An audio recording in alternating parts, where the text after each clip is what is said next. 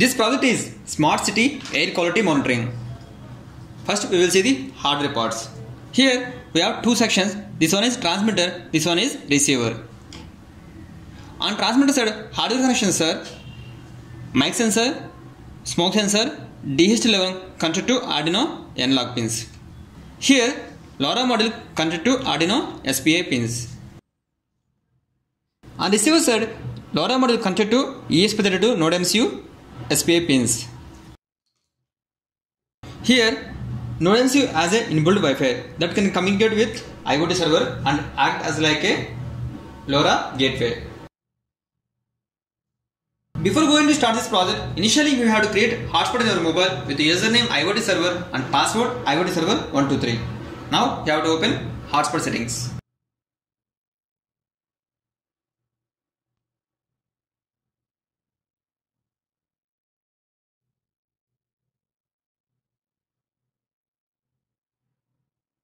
We can see here network name IoT server and password IoT server 123. Save. Mobile should have internet through the SIM. Now power on this. Here we are using 12 volts 1.3 amps battery for this power supply.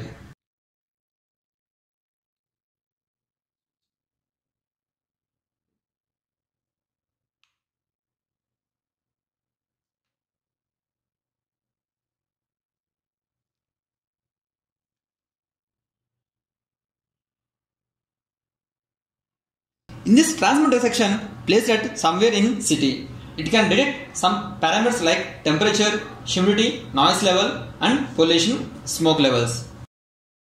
And then Arduino reads the all the parameters and displaying on LCD. We can see here T for temperature, H for humidity, S for smoke and S for sound sensor.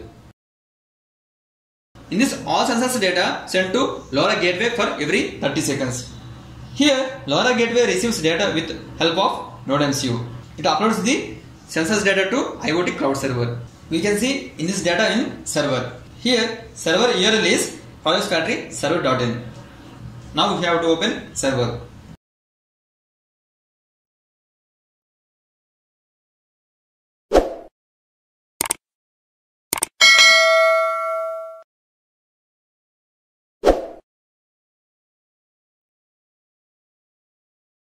We can see here server URL is project factory server.in and it is asking username and password. Username is LoRa underscore 9 and password LoRa underscore 9.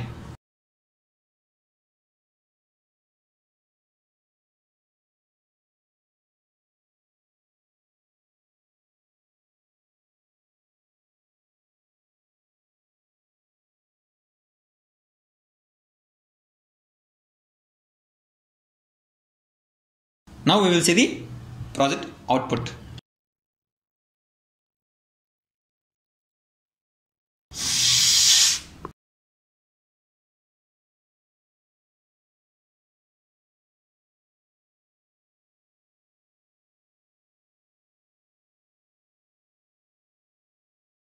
Here an LCD LS means LoRa sending to the data from transmitter to receiver.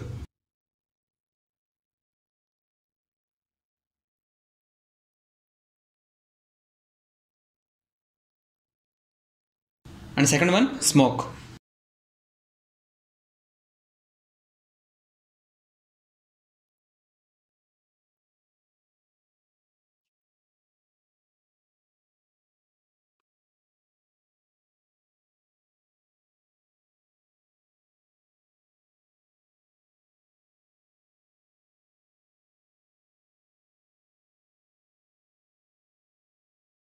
And third one sound sensor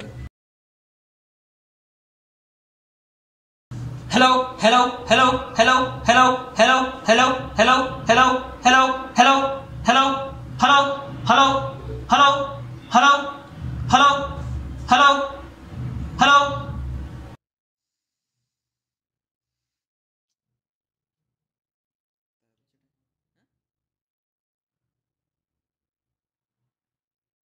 and fourth one is temperature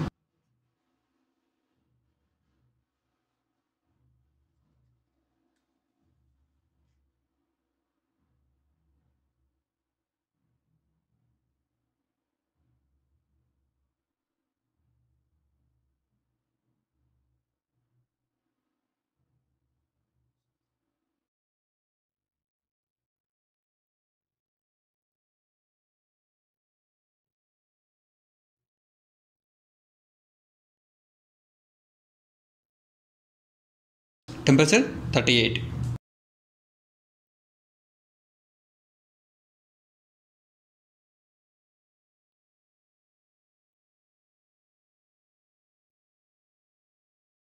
Here we have to wait for 30 seconds for getting the receiver data. Sometimes it may take 1 minute time delay.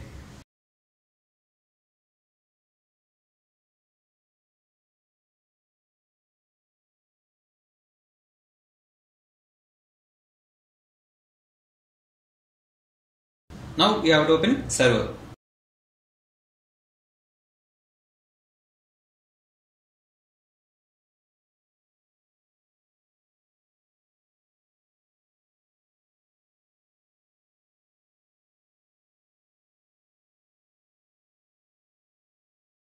We have to refresh this page.